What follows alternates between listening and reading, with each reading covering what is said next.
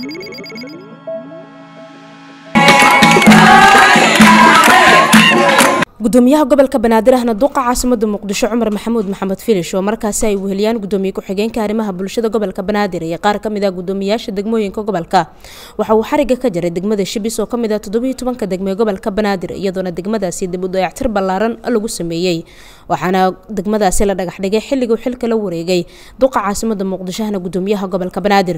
Waxa uu sidoo kale gudoomiyaha kormeer ku sameeyey inta qaybood ay xarumahaasi markaasi ka kooban tahay waxaa ugu horeyn warbaahinta la hadlay gudoomiyaha degmada shibis. Mudana gudoomiye waxaa u jeedaa maanta isbeddelka ka muuqda degmada shibis. Waxaad xusuusataa degmadii ugu horreysay ee aad dhagax dhigto mashruuc ahaan inuu yahay degmada shibis.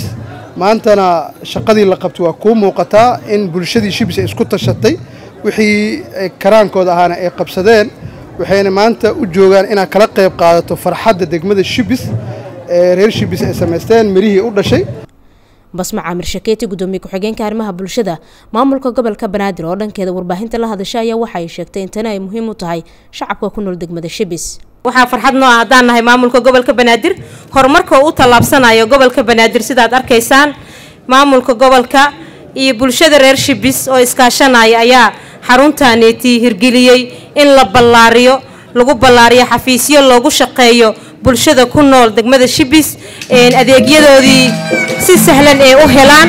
Hol weyn oo loogu talagalay aayahoodii iyo horumarkoodii iyo inay ugu tashadaan horumarkaaseetii maamulka gobolka banaadir. Mar walba wuxuu diyaar u yahay aragtida bulshada iyo araahdooda inuu ku shaqeeyo. Cumar maxamuud maxamed filish duqa caasimada muqdishohana gudoomiyaha gobolka banaadir waxa uu sheegay in arintan ay qayb ka noqonayso in shacabka ku nool degmada shibis loo fududeeyo waxyaabaha ay kaga baahan karaan xarunta aqalka dowladda hoose xamar si ay ugu helaan degmada ay ku nool yihiin.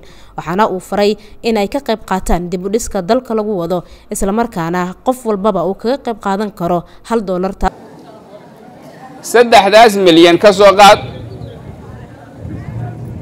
oo qofkiiba uu bixiyo hal doolar waa saddex milyan oo doolar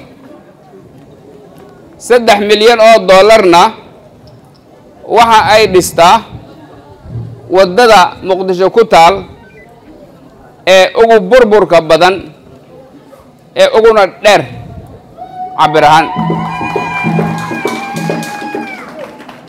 Marka inaad hal doolar dhiibto waxaan hubaa qof kasta oo muwaadina oo muqdisho ku nool inay u fududda waxaa laga bixiyaa xanjo iyo waxyaabo ka sii waxtar yar. Ayaa hal doolar iyo ka badan lagu iibiyaa waad ogtihiin.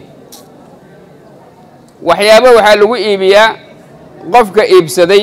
Haddii aan nahay maamulka gobolka banaadir maamulka sare ilaa heer degmo waxaan ballan qaadaynaa ammaanadiinna inaan wax idinkugu qaban doonno.